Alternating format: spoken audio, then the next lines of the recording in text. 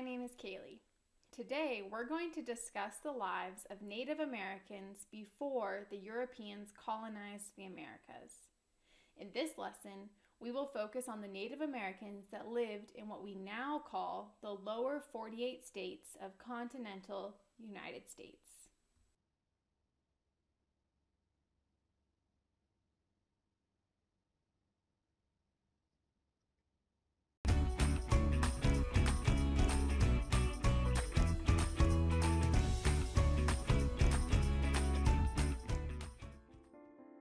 Thousands of years before the Europeans sailed across the Atlantic Ocean and landed among the Americas in the 15th century, there were people already living in North America. There were many cultural groups among the Native Americans. Many of these tribes had their lives changed dramatically by the influence of European colonization. So we don't have a lot of knowledge on how they lived before European contact. Let's start with the tribes of the Northeast, this dark green region on the map here. These are the tribes who first had contact with the Pilgrims. Remember, Christopher Columbus never set foot in North America, so these people are completely different than the tribes first encountered by early explorers. Two tribes in this region are the Iroquois and the Algonquin. Northeastern tribes began to focus on agriculture mainly growing corn, squash, and beans.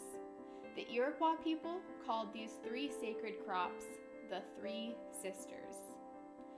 The Algonquins also began farming the three crops, but continued to hunt and fish.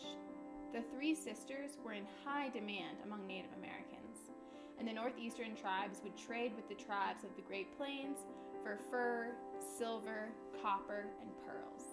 Tribes in the Northeast tended to live in villages of a few hundred people. Many lived in long houses that were houses made of wood that could reach up to 100 feet long. They were meant to house nearly 20 families. As trading became more prevalent in the northeastern tribes, so did conflict.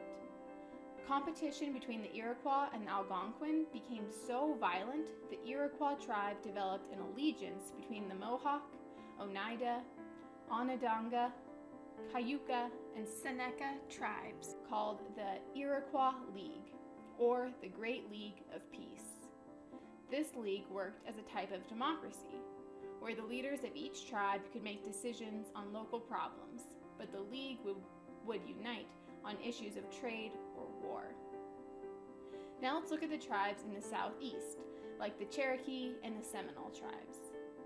These tribes were in some of the most fertile land and practiced a wide range of agriculture, most notably corn farming, but also squash, beans, tobacco, and sunflowers.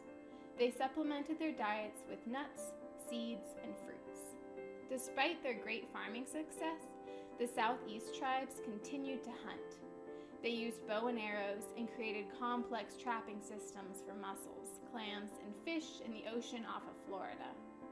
They also built tools and weapons for hunting large animals. The tribes of the Southeast created larger societies and relied on trading hubs to move goods and food among themselves. Despite these large urban settings for trade, most people lived in small villages of under a thousand people, and they shared a set of politics.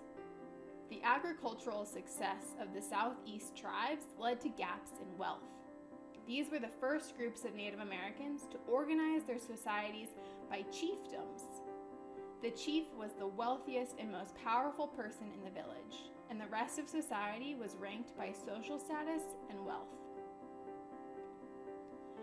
Now we'll look at this Midwestern region known as the Plains or Great Plains. This region was initially sparsely populated until groups like the Pawnee and the Cheyenne began to inhabit the region. Initially, the people in this region were sedentary, meaning they set up their homes, called earth lodges, and tended to stay there near their crops. Eventually, this region began to hunt by carving sharp points into stone called Clovis points and attaching them to the end of long sticks. The Plains tribes were able to hunt large animals like bison, buffalo, and mammoths.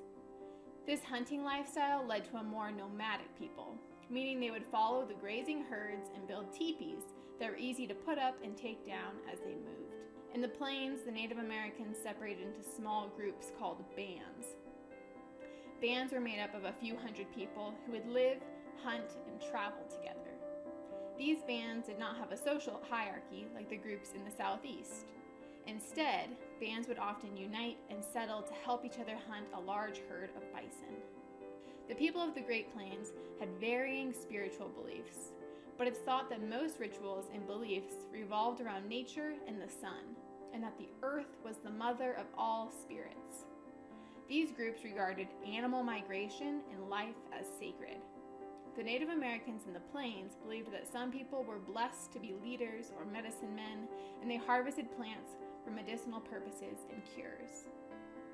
Now we'll look at the Southwest. In this region, the group referred to the Pueblos or ancestral Pueblos dwelled. These people were credited with being the first farmers in North America.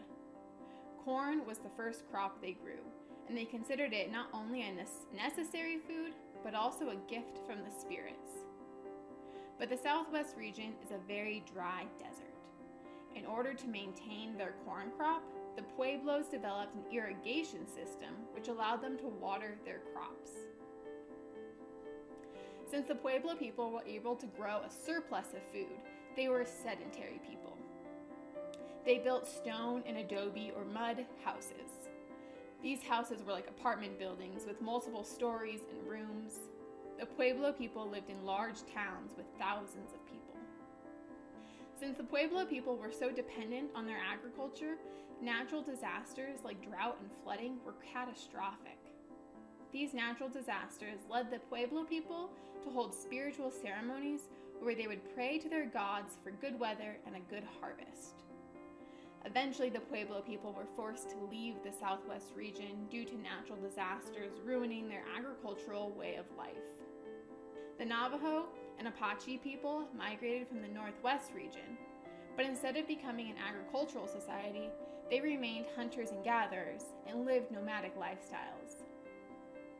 Since they moved around a lot, they built simpler homes out of mud and bark, and the drought and the flooding of the southwest had less impact on the Navajo and Apache tribes.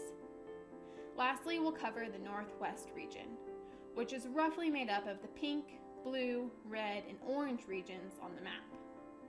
The Native Americans in this region lived off of the natural resources of the land. Due to the big differences in land type and weather, the many tribes that lived here had very different lifestyles. Some of the tribes that lived in the Northwest were the Washoe, Mono, and Chinook. Most Native Americans in the West were fishers, hunters, and gatherers. Acorns were a large part of the diet of tribes in what is now California. Women would gather acorns and grind them into flour. Also, fishing for salmon sustained the people in this region due to the salmon rich rivers. Men would use a harpoon to stab the fish swimming in the rivers. Many Western natives lived in easy to move huts made of sticks and leaves called wickiups. In areas where salmon and food were in abundance, the tribes would live in more permanent houses and lived among sedentary tribes. In areas with more food, the tribes were more wealthy and powerful. Some tribes, like the Chinook, were so powerful they enslaved members of other tribes to do hard labor, like preparing a killed bison for eating. The Native Americans in the West gave spiritual meaning to most animals, plants, and tasks. Even chores were considered to have spiritual meaning. Many groups prayed for good hunting, and some had rituals like throwing salmon bones into the river to replenish the salmon population and thank the river for its sacrifice. Now you have an idea of what America was like before any European contact was made. This is just a small example of the different people and cultures that existed and continue to exist in the United States for tens of thousands of years. Practice what you've learned by doing the online games and quizzes, have fun, and remember to always be clever. Hey, hey.